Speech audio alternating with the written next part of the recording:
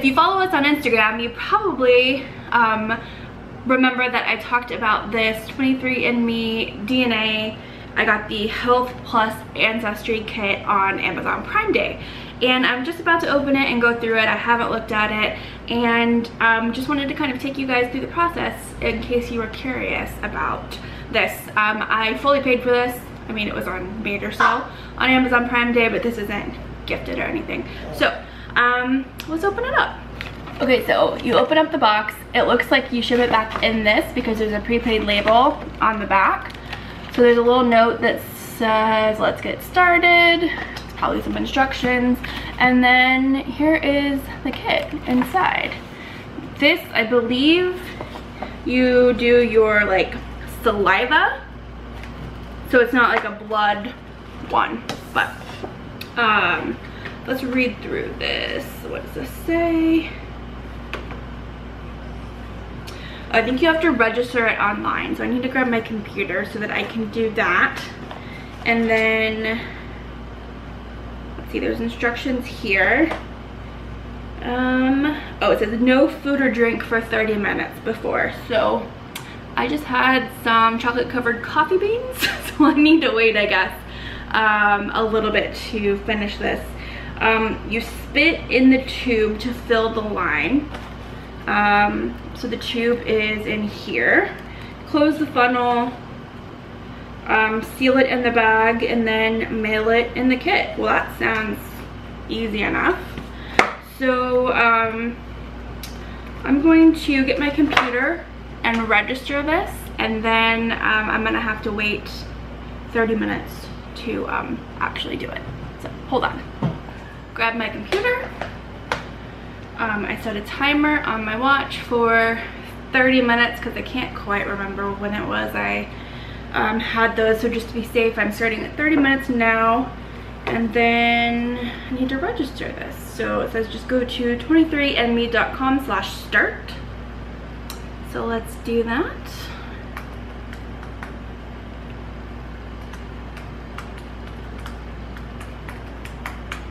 Okay, so it's just simple web page comes up asking for your name, your email, to create a password, your date of birth, to create an account. Pretty simple.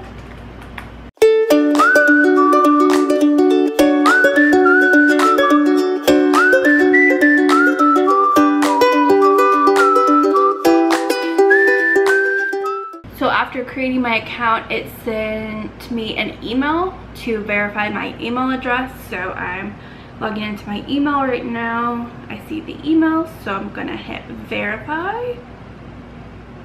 Okay, and then a page comes up and it asks to enter your barcode from your tube. So that is this. So there's a barcode. Oh, no, this is gonna focus, but there's a barcode down here on the tube. So I'm gonna enter that. It's a 14 digit code, it says. Okay, I'm also going to write my code down on this card here as it instructs, just so I have it somewhere in writing.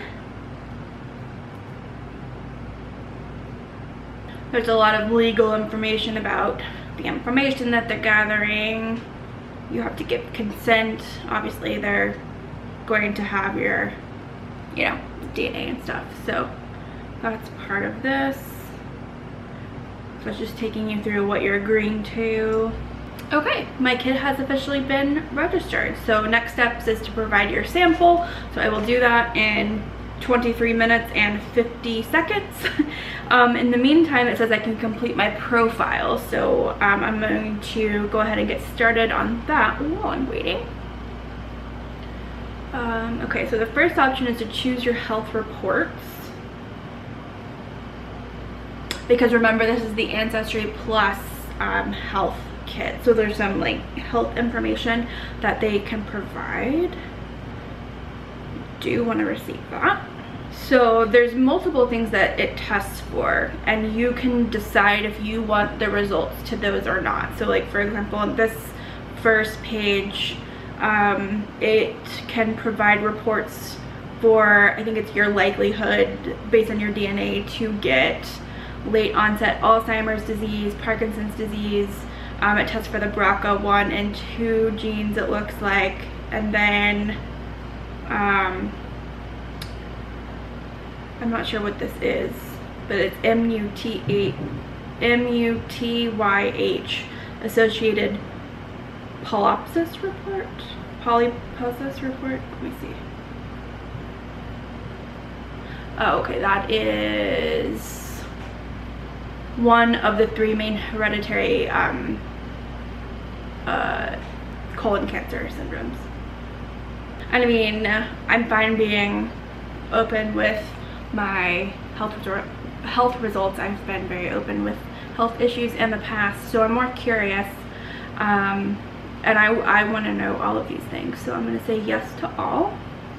So now it's asking just for some um, personal information, ethnicity, eth ethnicity, things of that nature. So it's asking about like questions that I know about my ethnicity because I mentioned this on Instagram. Uh, our parents have done, I think they did it through Ancestry.com, but they did that DNA test and they're very big into our family history. So I actually have a very good idea about my um, ancestors and ethnicities based on their research and then their DNA test results. So I'm less interested in um, learning those results because while I understand percentages and things will be a little bit different, there's not really going to be a surprise um, for me. I know generally what my ancestry makeup is. So um, I'm just going through and I'm answering these questions. Um, I'm a little bit Irish on my dad's side, so I'm entering that. Um, I am um, a large percent Czechoslovakian or Czech because my mom's family is all 100% Czech. My mom is 100% Czech.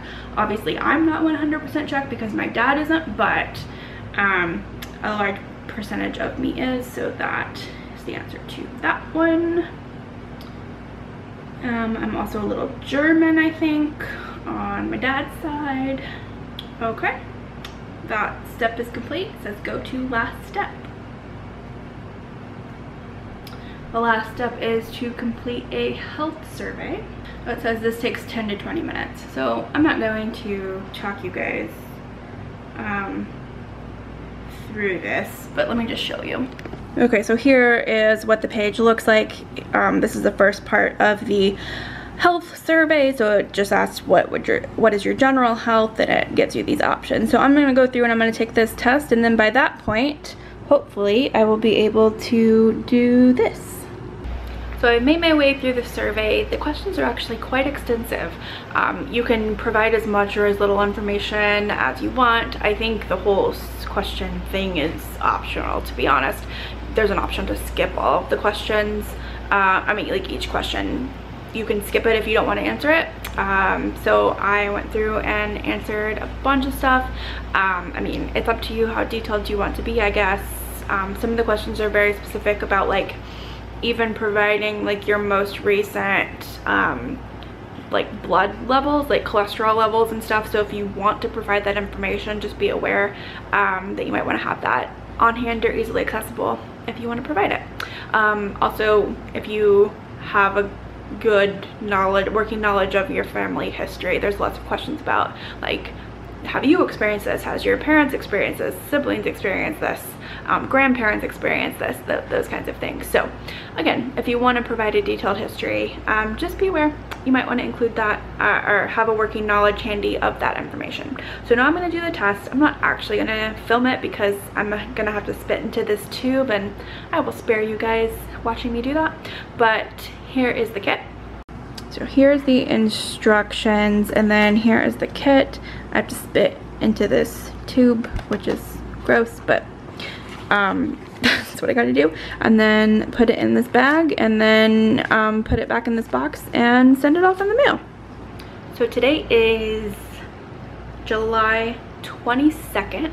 It's nighttime now, so I will probably drop this off at um, the post office or wherever it needs to be Yes, the post office tomorrow, the 23rd.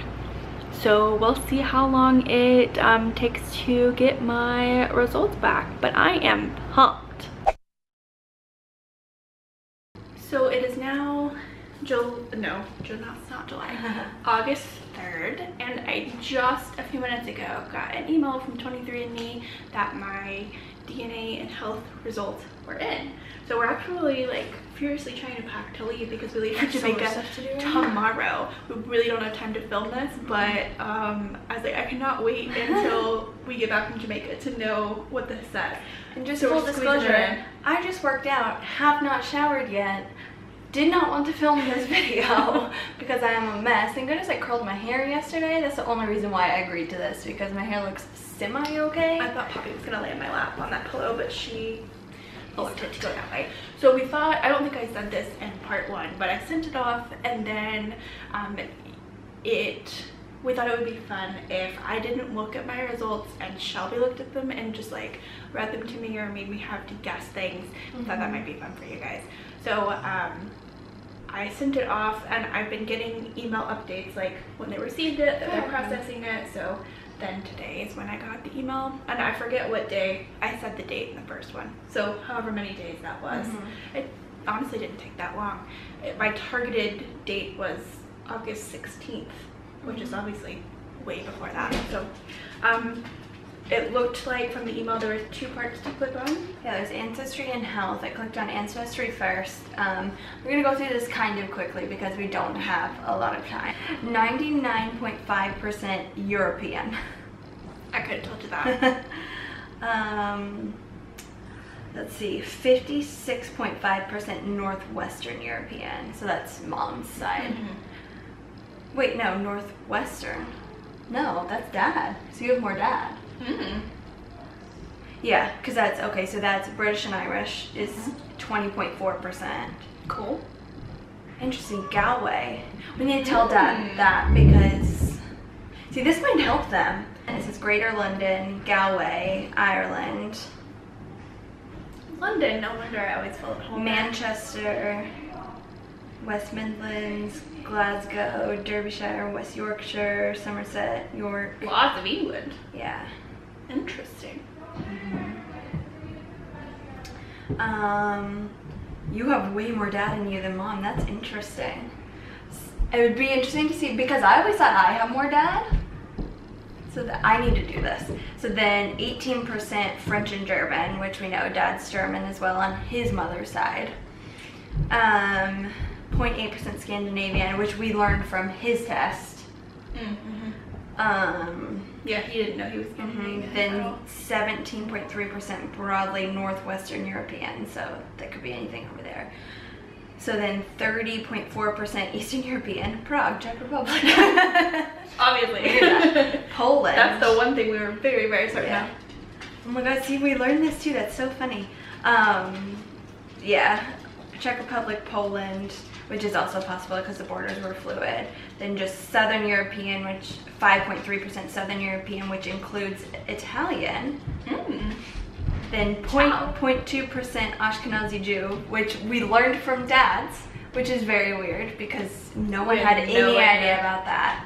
Um, so that's It's a interesting. very small amount. Very. And That's why nobody knew.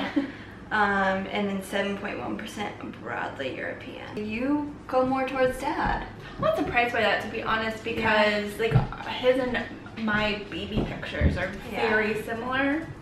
What do you think where mine would go?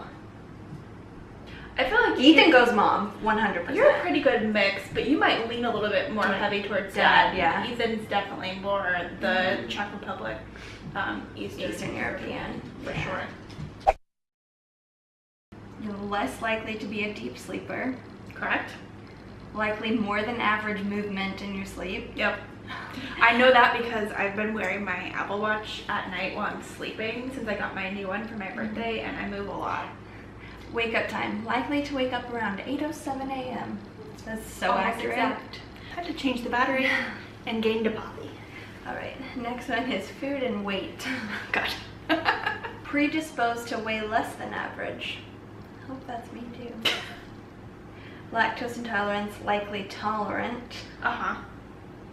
Saturated fat and weight. I don't know what that means. Likely similar weight. Likely, what is it? I don't know. Okay. Bitter taste. Likely can't taste. See, I want to know that one about me. Cilantro taste aversion. Slightly higher odds of disliking cilantro. Hmm, I don't agree with that because cilantro is one of those things that I think people say. Sorry, am I? I'm flashing you guys. I'm sorry. Apologies. Um, cilantro is one of those things that people say like tastes like soap to a lot Oh, of I don't people. think. I don't. I don't think so either. I love I love Sweet versus salty. You likely prefer salty. Yep, that's true. Mine would be like the complete opposite for all of these things. It's so funny. So alcohol flush reaction says you're unlikely to flush. Like I think like overheated or you Oh. know like how I always say I always get hot when I drink alcohol. Yeah. I feel like mine would be. But see, I wonder if that's possible because we share like the same DNA. I mean, everybody's different. Yeah. We don't share the exact same DNA. Caff- Similar DNA. Caffeine consumption. it's gonna say a lot. likely to consume more. True. Muscle composition is common Flabby. in elite power athletes, What? but I don't understand. Did you say you were an elite power athlete? No. Because that's wrong. No, it's comparing. Hey, no, it's comparing my DNA to the muscle compo- composition of elite power athletes. I guess it's that that it's the same. It doesn't, I don't get it. Your genetic muscle composition is common in, I guess your muscle consumption is common in elite power athletes. So I guess it's saying you could be one if you tried hard enough. Okay, Olympics 2020, here I come. Ability to match musical pitch. To match it, mm-hmm. Mm-hmm. I mean, I don't have perfect pitch. Is that what it's asking? No. To match, I would say yes. It says about a 50-50 chance. Yes. Asparagus odor detection. You think you can smell it or you can't? In my pee, I don't know. I think that's what they say, right? You can smell it in your pee. Um, I I don't think that I can smell it. It says likely can. like we can smell it in my pee. Interesting. I mean, I, I don't often smell my pee after I, you know, pee. Bunions. What about bunions? Says you're less likely than average to have had a bunion. Oh, yeah. No, never have. Cheek dimples. Nope. No dimples. Yep, likely no dimples. Cleft chin. No. Yeah, likely no. Um, dandruff. No. Yep, correct. Correct. I have dandruff. No, Oh, less likely yeah. to get. Never have had dandruff. Earlobe type. Huh. There It says likely detached, but I don't think yours not. are detached. Mine are though, I think. No, they're not. Yeah, they are. Compared to yours? Yeah. Earwax type, that's gross. There's multiple types. Yes. This is likely dry earwax. Eye color. Says Blue. likely blue or green. yeah. Blue. Fear of heights. Says less likely than average to be afraid of heights. Yeah. True. I need to do this. Mhm. This is so funny. Fear of public speaking. No. Yep, correct. Less likely. Finger length ratio. Give me your hand. Huh. It says likely ring finger is longer. Yep. That's true. It is. It's not Long, longer. well, than- longer than what? Longer than the index finger? Oh, I don't know. It just says likely ring finger longer. I think it means longer than the um, index finger, which is yes, my ring. Finger. Oh yeah, longer ring fingers than index fingers. Yeah. Interesting. Just just slightly. Well, actually, more on my right hand. Huh. On this hand, my ring finger is longer. On is this fascinating to you guys? Because. I feel like you guys are probably bored out of your mind, but it's fascinating to me. Less likely than average to have flat feet. Less likely. Interesting. I've always thought I've had pretty flat feet. Likely a lot of freckles. True. More likely to experience hair photo bleaching. What does that mean? I don't know. Like hair lightens easily? Maybe. I bet that's what. More likely to lighten with sun exposure. Hair. Yeah. Mhm. It always has. This is so crazy. Um, likely straight or wavy hair. I mean, it is now. Straight or Likely straight or wavy. aren't those the two options? I don't know. Less likely to have thick hair. That's Yeah. About a 50-50 chance of preferring vanilla or chocolate ice cream. Uh, I would agree with that, to be honest. I wouldn't ever go with plain vanilla ice cream over plain chocolate ice cream, but a lot of my favorite like ice cream combinations, like chocolate chip cookie dough Mhm. or whatever, that's like a vanilla ice cream Yeah. base. So I don't disagree with that because I do go back and forth. I don't feel super passionate Yeah. about either ice cream flavor. Um, misophonia, which is says you're less likely to hate chewing sounds. I will be off the charts on that one. Only when it pertains to me. No, not only, but yours is less likely. Chewing noises, yes. Other noises drive me crazy. Is that specific to chewing? Mhm. Okay. Chewing doesn't drive me crazy, but other noises like Shelby smacking when she eats drives me crazy. I don't do it like people do it. True, but it still drives me nuts. Clanging your spoon in your bowl Yeah, also drives me nuts. Um, you're likely bitten more often than others by mosquitoes. Not as much as looks. Yeah. More likely to experience motion sickness. Accurate. Likely less baby hair when you were born. Yes, I was bald. Bald. What's a photic sneeze reflex? It says you don't have that. Good. I don't sneeze multiple For times. For some people, bright sunlight kicks off a round of sneezing. Oh, no. Huh. Does that happen to you guys? Sunlight? Interesting. Um, Eating cold things sometimes. Yeah. No, cold things make me cough. Cough. Likely no red hair. That's accurate. Likely lighter skin. More likely to have stretch marks. That's interesting. True. Likely big toe longer. Yes. That's oh yours. Is, oh yeah, big, Big toe, toe. longer. Yeah. Which that we get that from dad's side because mom's side they roasts me out. They will have the second toe is longer. I hate it so much. It really freaks me out. It's those callus genes are really strong. Thank God we didn't get that. Ethan got it, we didn't. Um, likely at least a little unibrow. no, Oh, if I let mine grow out, I would. I have not done anything to my eyebrows, hand to God, in over a year. That is insane. Not even me. taken tweezers. Do I have a unibrow? No. Okay. Likely no widow's peak. No. I have one. Look. Mm. Mm-hmm. Yeah, I hate it. This is interesting because like I'm not necessarily learning things I don't know, but I guess it is kind of interesting to have this confirmation based on my DNA. Yeah. Or I'm not a carrier for 44 different things. Like what are some of the things? Things that you recognize? Cystic fibrosis. I don't think we have anybody in our family that has that. I don't even know what some of these are. What is maple syrup urine disease? It legitimately says that.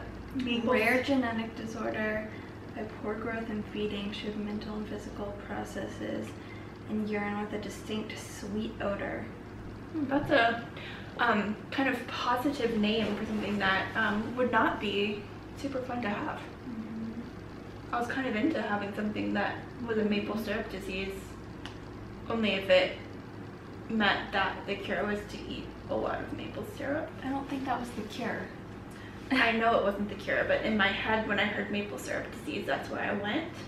Slightly increased risk for celiac disease. Hmm, that doesn't surprise me. Mm-hmm. I've never formally been tested, but I do feel that I, I don't think I necessarily have celiac, but I do think that I'm sensitive to gluten, as are a lot of people because of how wheat is farmed in the United States. I am less sensitive to gluten in other countries. Age-related macular degeneration, variant detected, not likely at increased risk.